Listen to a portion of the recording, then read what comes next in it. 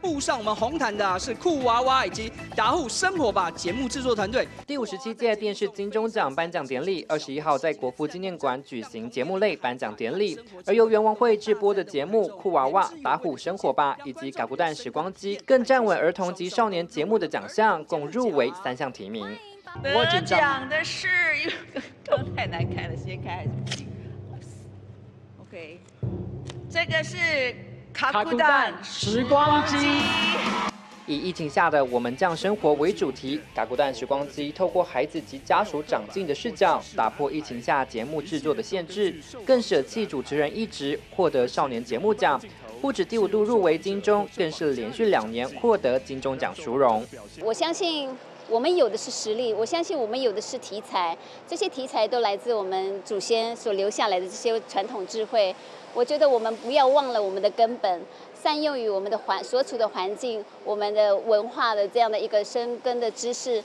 呃，可以展现在任何一个环境下，都可以做出很强大的一个好优质节目。让部落的声音、部落的生活呈现在电视跟广播上面。原文会我们在各个电视台算是，呃，资源预算最少，但是我们的故事有无限的力量。我相信这个是台湾。最需要的，而且是对台湾最有帮助的。然而，不止由袁文慧制播的节目在金钟奖上崭露头角，与原名相关的节目题材及个人奖项更是大放异彩。第五十七届电视金钟奖一般节目类节目创新奖得奖的是《公式主题之夜秀》，你的岛屿我的家，我们有两个得主。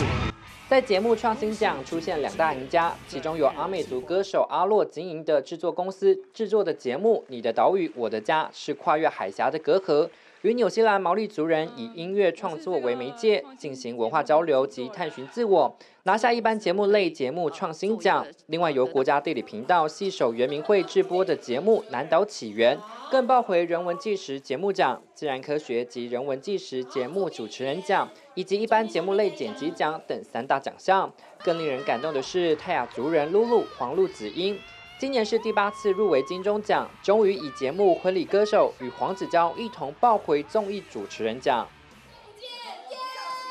在族人及各界的努力下，今年金钟奖原名能量满满，证明原名文化软实力坚韧不摧。也期待二十二号的电视金钟奖戏剧类颁奖典礼又会奖落谁家？